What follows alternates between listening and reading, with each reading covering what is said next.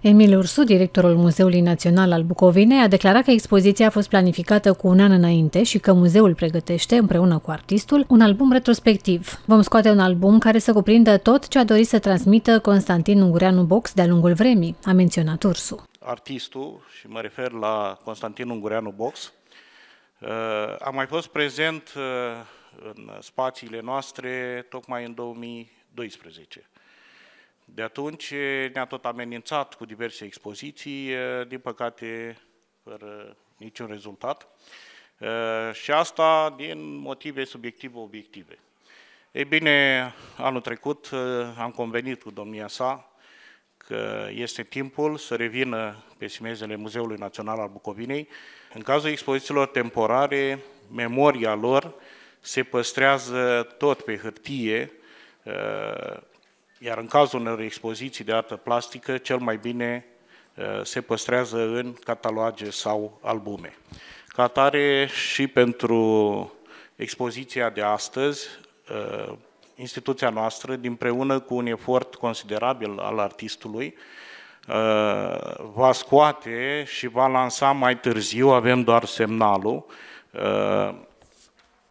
un album care nu știu dacă este neapărat retrospectiv, dar care încearcă totuși să cuprindă ceea ce Constantin Ungureanu Box și-a dorit să transmită publicului de-a lungul vremii. Curatorul expoziției, profesor dr. Raluca Schipor Baban, a subliniat importanța elementului uman în opera artistului. Constantin Ungureanu Box aduce în prim plan omul împreună cu capacitatea sa de a se dedubla, a spus aceasta. Expoziția include lucrări precum dans liturgic, plouă în amiaza rugilor, fereastra răsăritului, pisanii și capricii, toate abordând teme religioase și simbolice. Omul în diverse ipostaze, Vizualizăm în același timp aure, ființe angelice, îngeri pierduți în spațiu, spațiul care ajunge să se completeze cu o atemporalitate la care suntem martori.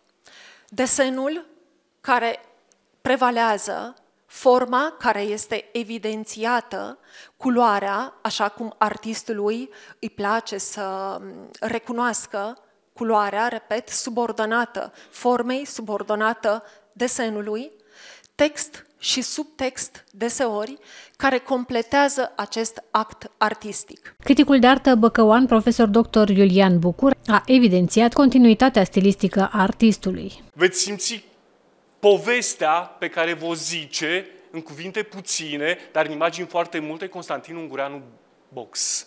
Veți vedea cum face un periplu prin istoria artelor, un periplu în care se intersectează, după cum vă spuneam, stiluri, curente și epoci, într-un loc tare îngust. Uh, veți simți ceva din tremurul baroc, uh, din uh, sobrietatea gotică, din hieratismul bizantin.